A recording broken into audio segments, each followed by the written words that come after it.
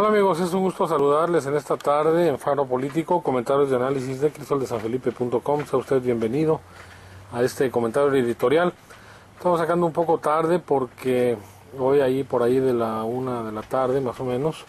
una reunión del Consejo de Desarrollo Económico de San Felipe con Daniel de la Rosa Naya, quien es el secretario de Seguridad Pública del Gobierno del Estado. Y bueno, pues nos esperamos porque eh, pues es una reunión importante en donde eh, pues las personas de la iniciativa privada pues plantearían su visión de cómo ven a San Felipe. Si tratamos de hacer un esfuerzo por resumir lo que ahí ocurrió, bueno, pues eh, fue una mala tarde para el gobierno municipal porque pues todos, todos los que ahí asistieron,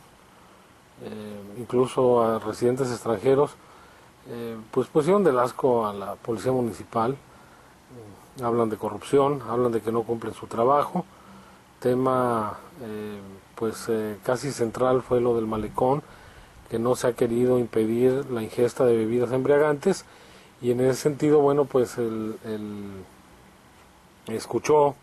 el secretario de la Rosa, propuso algunas cuestiones ahí de grupos de vigilancia, organización de vecinos, que bueno, pues ahí también se ofreció una persona para hacer esto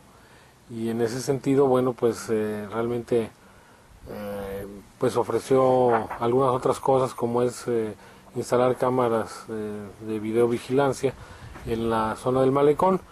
pero sí se ponderó este asunto del malecón, ¿no?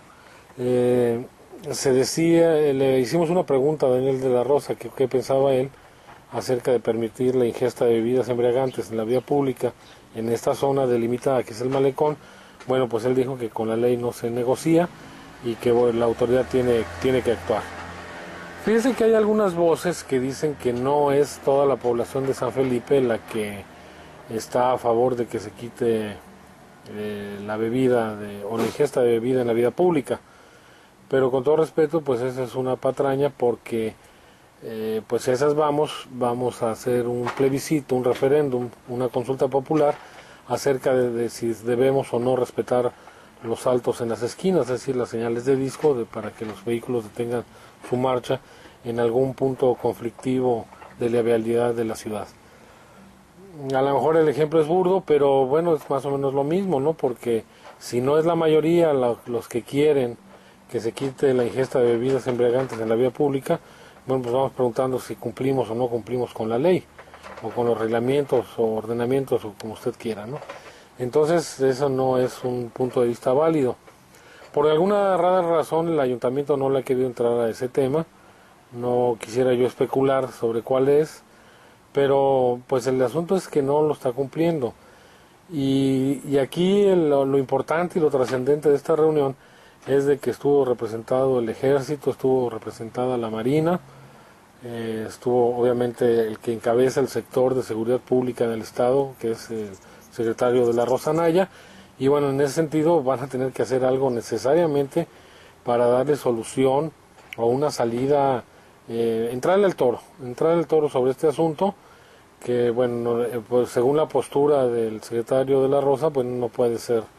que se permita o se siga tolerando la ingesta de bebidas embriagantes en el malecón. Porque hay sectores que dicen que es un grupito, los dueños de los bares, que quieren que se vayan adentro de sus negocios. Bueno, yo creo que cualquier comerciante, comerciante quiere vender más. Pero en este sentido, bueno, obviamente debe de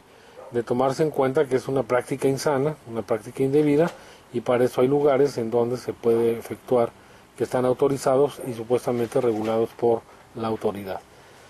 Pero como le digo, pues eh, resumiendo esta reunión, fue una mala tarde para el ayuntamiento, eh, se dijeron cosas muy fuertes de la policía con todas sus letras, de todos los ahí presentes, y bueno, pues ahora lo único que queda es la respuesta de la autoridad. Le agradezco muchísimo el favor de su atención. Mi nombre es Martín Bojor, que es gracias. Adiós.